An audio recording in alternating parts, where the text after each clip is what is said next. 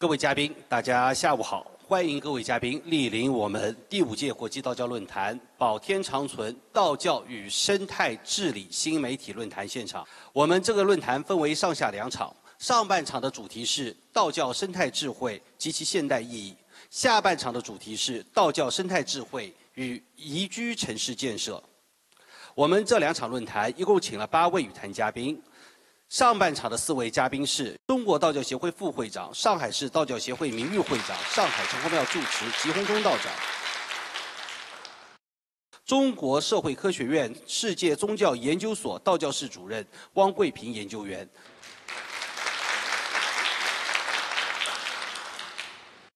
山东大学特聘教授、元亨书院院长林安武教授。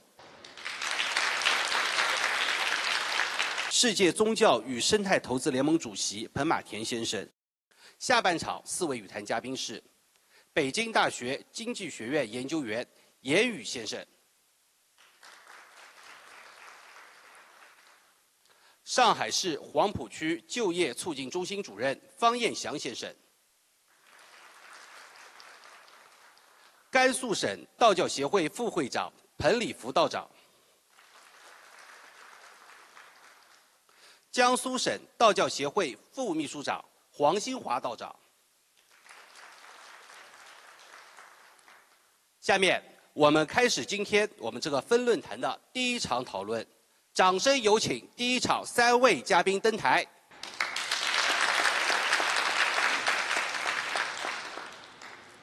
我们今天第一场讨论的主题是“保天长存，道教生态智慧”。及其现代意义。近现代以来，随着科学技术的发展进步，我们的生活得到了极大的便利。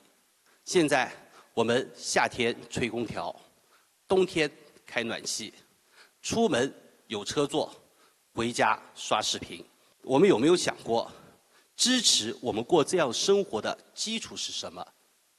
可能有人会说，是科技的进步，生产力的发展。但是我们中国人有句话叫“巧妇难为无米之炊”。事实上，科技的进步也好，生产力的发展也好，其实都离不开我们对于自然资源的一个利用。也正是因为我们不断的开采自然资源、消耗自然资源，于是我们遭遇了前所未有的生态环境。也有人会说，按照你的说法，我们是不是应该回到茹毛饮血、刀耕火种的生活状态？很明显，回不去了。那么，我们应该怎么办？我想，这便是我们今天要讨论的主题——生态智慧。智慧是什么？智慧实际上就是体现了我们更好的解决问题的能力。而生态智慧是基于现在的生态环境问题，我们如何的更好去解决？道教的生态智慧是基于道教文化、道教信仰的思路去解决我们现在所面临的生态环境问题。《道德经》里有句话说：“执古之道，以御今之有。”我们用古老的道教思维来解决当前我们遇到的生态环境问题。这便是我们今天这个分论坛的主题：道教生态智慧及其现代意义。首先，我们有请彭马田先生通过视频阐述自己的观点。To understand the Tao, one needs to understand the essence of balance between yin and yang and the dynamic potential of qi as the means for restoring and then maintaining the balance between humanity and the rest of life on earth that has been broken, betrayed, and shattered by selfish human activity. In a world struggling to understand what has gone wrong, and perhaps even more importantly, how to repair and protect the planet, Taoism has a unique role. I work with all the major international networks, UN, World Bank, Green, Green Climate Fund, etc., who are trying to work out what to do next. And I watch as they often try to use the mindset which got us into this mess in the first place economic, social, and personal. Taoism speaks of another reality and another way of seeing understanding, and responding to the many crises we face. And we need this 呃，感谢彭马田先生的一个分享。他认为，有人从经济社会和个人的角度去思考我们当前所面临的生态环保问题，而道教却从另一个现实以及另一种看待、理解和应对我们面临的许多环境危机的独特的视角。彭马田先生认为，当前世界需要这个。季道长。关于彭马田先生所说的道教的这个独特的观点，也就是彭马田先生最后所说的“世界需要这个”，您是怎么理解的？好，谢谢主持人啊。那么在相当长一段时间以来啊，这个我们总是认为啊，人类是万物之灵，啊，是地球的主宰。我们人类可以为了我们人类的生存发展。可以随意的去征服自然，甚至是改造自然，啊，有时甚至是把自然作为我们人类的附属。那么这种思想可以称之为人类中心主义。在我们道教的思想中，自然并不是我们人类可以通过科学技术可以征服的课题，啊，恰恰相反。就是我们人类其实只是自然循环中的组成部分，啊，换句话说，我们以更为宏大的视角来看，我们人类只是这个世界匆匆的过客，啊，而非主宰。我们道教明确反对“天地固生人，天地为人而生各物”等供人享受的目的论观点。我们讲的众生平等。就是强调要求人类要善待众生，看向众生的目光是和善的、友爱的，而非贪婪的、傲慢的。只有平等的对待一切生物，那我们才有可能尊重啊其他生物的生命，与之和平相处。反之，一旦我们居高临下，肆意的主宰万物，那么众生之灵在这个屠刀下徘徊。一旦构成大怨，暴戾之气有违天和，那么这必将成造成世道寡助的结局，从而引起大自然对人类的报复。谢谢季道长。季道长提出来，人作为万物之灵，应该具有更大的一个责任。第一个，第二个呢，不能够行使君临万物、主宰万物的权利。而应该与万物、自然万物平等相处。那么，汪教授，您是道教研究的权威，我想您从道教研究的角度，如何看待彭马田先生和吉道长的观点？谢谢主持人。其实哈，在美国的著名的科学家，也是生态学家卡普拉，他就认为，他说，在东方的传统文化中，道家提供了最深刻并且最完善的生态智慧。嗯，首先我们看哈道教的这个整体观，道教认为人与万物有一个共同的本源，那就是道。道德经就说：“道生一，一生二，二生三，三生万物。”嗯，说明道是创生天下万物的最终本源。那么也就是说，天地万物它先天它就禀赋了道的属性。那么天地人它是同源。同构同性是一个紧密相连、互相依存，从而形成为一个天人合一、自然和谐的整体。嗯，所以道教呃有所谓“天地与我同根，万物与我同体”哈这样的说法。那么从天人合一的这个整体观出发，道教非常重视人对环境的依赖关系。认为人与自然的共生共存是天道自然的法则，人类呢只有掌握自然规律，按照一定的规则和利用自然，才能够与自然和谐共存与发展。所以道教呢，其实啊也是很早就认识到自然环境与人类的这种生存它是息息相关的哈。道教认为，他说天地不和，不得尽无年。呃，意思就是说，如果自然环境遭到了破坏，人们呢就不能够安享天年哈。他就是提醒我们要时时警醒，要敬畏天地。那么，只有保护好自然环境，才能保护人类的整体生存。谢谢我们汪教授、林教授。前面三位呢，都从各自的角度阐述了自己的观点。那么，您能否从医学的角度谈谈，我们应该如何应对当前存在的生态环境问题？今天我们在这里探索这个题目非常有意思，道教生态智慧及其现代意义。我们现在谈这个问题，其实就是这个社会、这个世界为什么这么难共生、共长、共存、共荣？为什么这么困难？如果回到我们道教的智慧，回到我们中华民族最原先的像小草般生长的智慧，万物并作，无以观复。老子第十六章。《我易经》里面说的“天地之大德曰生”，啊，这个生生之德的传统，这个世界早该太平了，但是这个世界居然挑起了处处战火，为什么？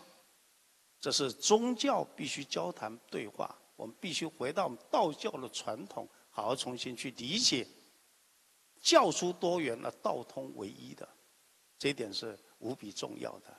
所以，生态治理回到生态，回到一株小草的智慧，我认为这个世界是有可能啊一步一步啊走向和平的。感谢我们林教授的分享，季道长，您认为提倡以自然为中心，当然前面我们说要摒弃以人类为中心，那么这种以自然为中心的生态环保理念，对于我们人类的意义又在哪里？我觉得这个。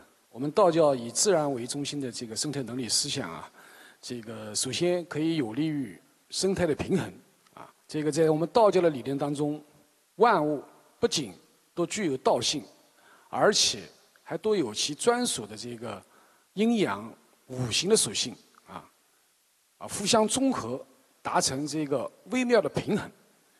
那么如果这种平衡被打破啊，那么就会产生很多的啊生态问题。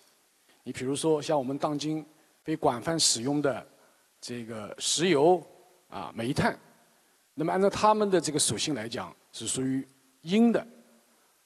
但是经过燃烧以后啊啊，它们就会变成阳啊。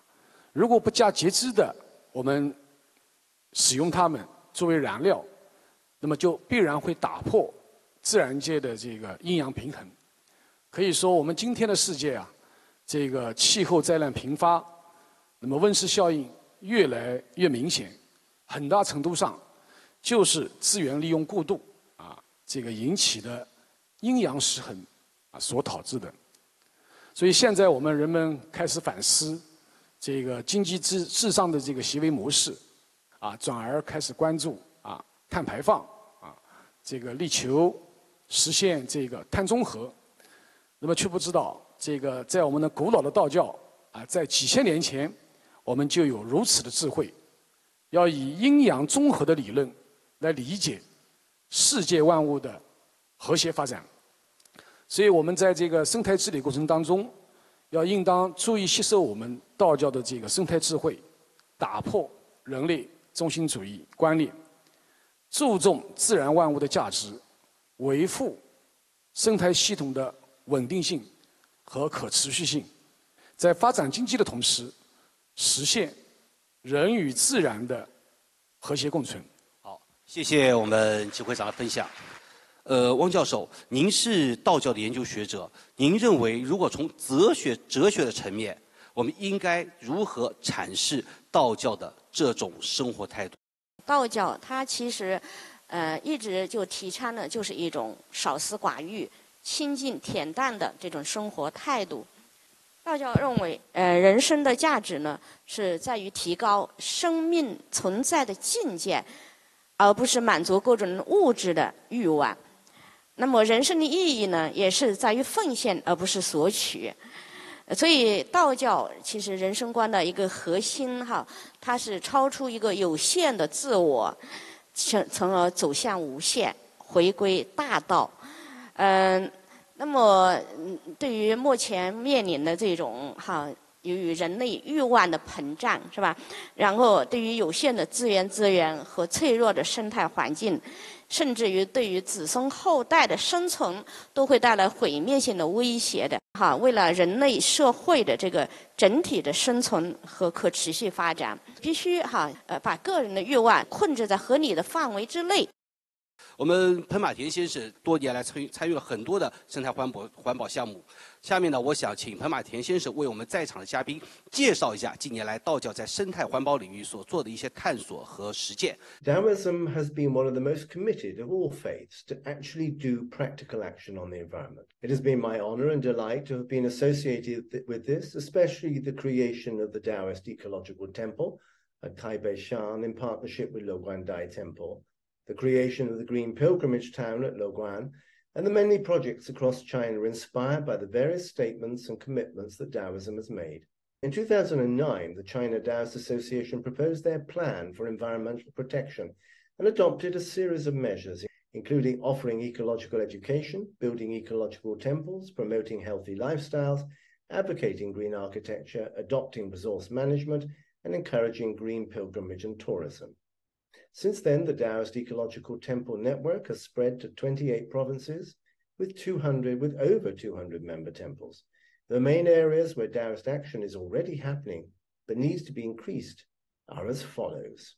That ecological Taoist temples will serve as demonstration sites for best environmental practices. For example, focusing, for example, on energy efficiency and using renew renewable sources of energy, improving the recycling system of temples, separating waste and recycle as much as possible, green the temples, planting trees inside and outside the temple's public spaces, promote green lifestyles, for example, low carbon lives, and avoid the waste of food. With the creation of the World Taoist Federation, these practical actions and the many, many other things Taoists are doing to protect nature and help build a balanced world can begin to be fully appreciated. There is no question. Taoism is one of the world's most ecological faiths, and it offers hope to a world that often seems hopeless. 呃，感谢彭马田先生的一个分享。现在呢还有四分钟时间，我们呢选两位观众提出问题。呃，哪位嘉宾想要提问的？ 请问林安吴教授，在您看来，在二十一世纪的今天，我们如何去解决这个人类异化的这个问题？谢谢。在霸权逻辑底下是不可能解决异化问题的，唯有和平的逻辑才可能。所以我们希望啊，真的知常容，容来公，公来全，全来天，天来道，道来久，莫生不殆。真的是应该如此。而且有时候不是勇敢。啊，我们道家还告诉我们，道教告诉我们：勇于不敢则活，勇于敢则杀，这非常有意思。啊，爱好和平，勇于不敢，啊，不战争就是不战争，在这个过程里面，和平就是和平，这个世界就有新的可能性。尊敬的汪国平教授，呃，您认为我们对于自然、社会和人之间？有怎样的认识，才能真正的从认识上来解决当下的呃生态环境问题？道教的生态思想，它的永恒意义是在于，对于威胁人类生存的空气污染、自然枯竭、环境恶化等等无解难题，那么仅仅用科技手段治理是不够的，还必须从根本上改变人人类的思想。抛弃天人二分、技术万能的错误观念，重新认识道家天人合一、万物皆含道性等思想的价值。那么，只有从思想观念上觉悟，认为人类对其生存的环境负有不可推卸的责任。嗯，我们必须尊重自然、保护环境，然后我们才能为自己以及子孙后代留下美好的生存空间。啊，我有一个问题想问吉道长，就是这个你认为的道教生态平衡的系统观念是什么？道教生态平衡的系统观念其实就是这个啊，道法自然。我们道教所讲的自然啊，就是讲的是自然而然的意思，是指这个事物自己如此的天然的、非人为的一种状态。啊，那本着道法自然的原则呢，就我们道教反对人为的、过多的去干预这个自然生态。任何一个地方，如果轻易的去干预，都会牵一发而动全身。那么我们最高明的做法就是法自然，尽可能的去减少人为人为的这个干预，更不能肆意妄为。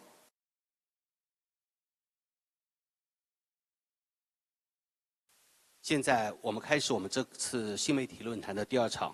我们第二场讨论主题是“保天长存，道教生态智慧与宜居城市建设”。城市呢是人类的聚居地，大型的城市是高密度的人类聚居地。随着世界城市化进程的不断推进，城市问题逐步凸显。那么，如何看待和解决这些城市发展中存在的问题？道教文化在其中又能够提供怎样的智慧和助力呢？今天我们就请来了四位嘉宾，共同跟我们谈道教生态智慧与宜居城市建设的问题。下面就开始我们今天的讨论。我们说，道教是众生贵生的宗教。众生贵生可以理解为，当然是粗浅的理解为重视生命、重视生活。在这里，我就想请教一下我们黄新华道长，从众生贵生的视角出发，您如何看待宜居城市建设？谢谢主持人，这个非常欢喜来参加这样的一个研讨会。那么，在宜居城市的建设过程当中，一个非常重要的一个问题，其实也就是我们在怎么样、怎样的这一个满足人在城市生活需要的这个同时，解决好人与自然的这样的一个和谐的一个关系。那么，在这个过程当中，我觉得我们道教的这个众生贵生的这样的一个思想。对于城宜居城市建设，它是有一个非常好的借鉴意义的。道教对于生命的这样的一个重视，它不仅仅是说对于生命的这一个周期的延长很重要的一个点，而是关注我们这个生命的这一个质质量。对于城市的这个建设，不应该只结这个关注在外部，而应该关注在这个内部的这一个这一个人自身确实的一个需要上面。那么可能我们也现在也发现，说我们这个城市的这一个房子建得更宽敞明亮了，我们的这一个购物渠道更多了，我们这个娱乐的东西、娱乐的这一个方式方法也更多了。但是我们人生活在这个里面，我们的这一个精神却却显得更加焦虑了。这个也就是要求我们在这个城市建设过程当中，要追求建树抱朴、返璞归真。只有重视人内在的这样的一个精神的一个追求。注重人本真的这样的一个世界，人们才能在这个城市过生活当中甘其食、美其服、安其居、乐其俗。好，谢谢我们黄道长的一个分享。黄兴华道长从道教角度出发，认为宜居城市要道法自然、顺应物性。那么方义祥先生，我看您是在上海市黄浦区就业促进中心工作，从您的专业角度出发，认为我们在宜居城市建设中应该要注意些什么？说到宜居城市的建设啊，我们往往离不开三个层面。第一个前面也是我们黄道长说起的，就是城市建设，或者说是城市更新。第二呢，我觉得应该是城市治理，这也是非常重要的。第三就是一个城市文化的打造。这三方面工作的出色程度呢，其实就决定了我们这个城市是否宜居。我们今天走进一个城市，市政的建设往往是我们认识这个城市的第一印象。有些地方可能让我们觉得内心非常的愉悦啊，看得很舒服；而有些地方觉得千篇一律，令我们烦躁。那么到底是什么样的情况让我们产生这样的感受呢？因为很多地区的更新或者说是建设，它更多的是从建筑保护、外观和谐亮丽以及技术层面而出发，盲目追求改造规模巨大。改造工期快的这样一个效果，而忽略了城市的综合复杂的它一个社会的交往功能、经济交流扩散功能以及产业协作功能这样一个问题。其根本原因是缺少对当地人口、经济、社会结构、文化等方面的一个整个系统的分析，因而形成了更新措施不符合我们人群需求的这样一个情况。道教智慧告诉我们，城市更新建设要以人的需求出发，以人为本。道教之所以主张人与自然和谐相处、协调互补、共生共在，是因为在道教眼里，人与自然是一个共生的一个整个的生态整体，互相作用、感应相生，即所谓天人一体。城市建设就要应该有这样一个以人为本的整体的这样一个系统观念来支撑。感谢我们方主任的分享。那么严宇先生，您是北京大学经济学院的研究员，从您的研究领域出发，我们应该本着一种怎么样的原则去处理城市中的各种关系？现在我们人类的社会最大的问题是什么？就是我们对我们人性的脆弱认知的不够，即便是有认知，而不能够克服。道家文化最精髓的一句话，啊，叫“为学日益，为道日损，损之而又损，以至于无为”。无为是什么？无为其实在我的解读中，是对人性缺点的一种自我的。克服无为，就是你对人性的脆弱性，我们千万不要去考验它。有时候我们真是承受不起。所以道家的无为是手段，无不为才是目的。所以后边才说无为而无不为。所以道家这种平等公正的概念，我们代际之间如此，我们代内也是如此，就是我们同辈人也存在这个公平。这种公平是我们真正的生态文明。好，谢谢我们严教授的分享。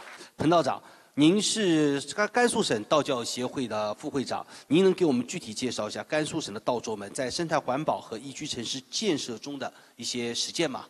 地处西北的兰州，其本身呢生态环境脆弱，除引黄灌溉区外，这里既有黄土高原，又有荒漠。降雨量很小，特别是在长期封闭的农业经济时期，许多茂密的山林变成荒山秃岭。但在荒山秃岭地区，人们呢时常还可以见到一片片小绿洲，那就是生态公馆及其周围的园林式公馆。而在城市中的道观，通常为市区和市民提供了。一个小型的生态系统、系统和优良的休闲场所。好，谢谢我们彭会长。那方主任，您刚才讲到城市更新建设要以人的需求出发，以人为本。您认为从道教“道法自然，以人为本”的原则出发，那个道教生态环保智慧能为我们城市的更新改造提供一个什么样的借鉴？谢谢。在早期的时候，天师道原本是不支持祭拜俗神的，也是说我们地方的神事。但是历史演进到唐宋以后呢，很多俗神因为对地方做出的突出贡献，而被道教收入了道教神坛，并在道教这个更为广大的平台上得到了传播。道教神明设立与地方传统庙宇的这样一个结合呢，既是道教地方化的成功，其实也是地方庙庙宇道教化的成果。这是道教兼容并蓄、直指人心的这样一个重要特点。我觉得在这方面，我们目前的城市更新应该好好的效仿。很多城市建设大拆大建、简单粗犷，其结果就是破坏了我们城市基底脉络，忽视了传统街区和传统风貌的这样一个保护。谢谢方主任，黄道长，您生活在苏州。前两天呢，我看了个数据，苏州刚刚列入叫超大型城市。我想苏州呢，作为一个超大型城市，也肯定面临这个改造和更新的问题。您认为在宜居城市建设中，应该就是宜居城市的建设过程中，应该本着怎样的原则？在这个生态系统当中，人只是这个生态系统当中的这个一环。人可能我们凭借我们的这个智力，能够这个发挥这个对把这个很多的这个动植物作为这个使用，或者说进行这些这样的一个使用。但是人并不能去主宰这个。我们在这个城市的建设过程当当中，我们还是需要这个顺应各各种物的这样的一个物性才进行。所以在这样的一个思想里面，我们这个生态生态智慧的这样的一个宜居城市建设当中，一方面我们是承认，在城市的建设过程当中，人始终是这样。为了满足我们自己的需要和目的进行一个城市改造的，那么在这个过程当中，人是这一个目的，也是进行这样改造的这一个手段的这个实施者。那么另外一个方面，我们特别要强调的是，不能把人与自然割裂开来，要从人与自然共同体的这样的一个角度去考虑问题。我们要去遵循自然规律，发挥自然本有的这样的一个特色，进行城市改造。那么，所谓我们说的这一个“天地与我同根，万物与我同体”，也只有把我们的人与自然环境整体的这一个利益放在一起，那么我们在宜居的城市这个建设过程当中，才能更适合人的这样的一个生活。好，谢谢我们呃胡道长。我们道教公馆呢，星星点点的丰富在城市之中。道教公馆的建设如何参与宜居城市建设？这彭道长，您能不能再给我们今天讨论主题再贡献点柴火？这个道教界提出道教生态智慧理念，其开展的建设生态道观活动，不仅是道教界自身实践教义的举动，也是利国利民的行为。对于我国的生态文明建设具有积极意义。生态道观是指道观以宗道贵德思想为依据，合理使用土地、水源、植被等资源，绿化和美化道观内外的景观，合理配置保护水资源、治理污染的设施，建立健全生态保护和宣传教育的规章制度。大幅度提升道众的生态环境意识，最大限度地采用节能技术和材料，形成与周边自然环境和社区人群相协调的良性生态圈。好，谢谢，谢谢彭道长。我觉得今天这场讨论很符合我们道教所说的“一阴一阳之为道”，阴阳激荡，成就我们这个丰富多彩的世界。我们相信。通过今天的分享和讨论，让我们更加深刻地认识到道教的生态环保智慧在当代依旧有其思想价值、理论价值和实践价值。第五届国际道教论坛“保天长存”新媒体论坛到此结束。再次感谢今天到场的各位嘉宾，无量寿福。